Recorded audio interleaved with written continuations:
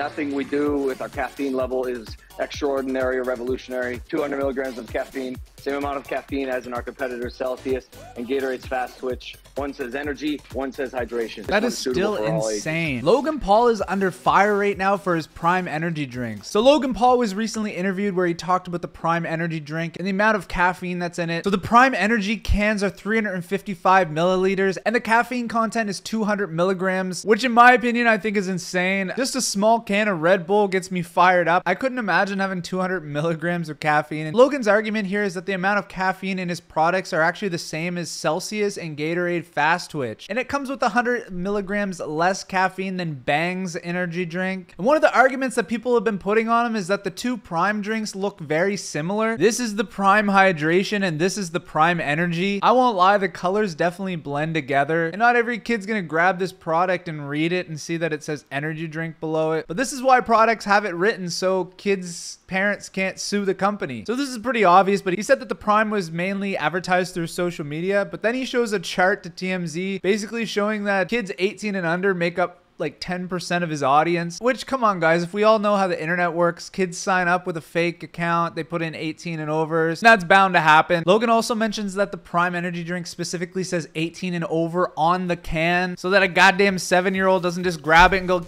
have a heart attack and his mom sues the company. But I'd like to know what you guys think. Is this product too close to the hydration to where kids are to grab this by accident? Is this all a big thing just to try to make Logan look bad? Let me know in the comments below and I will see you guys in the next one. Peace.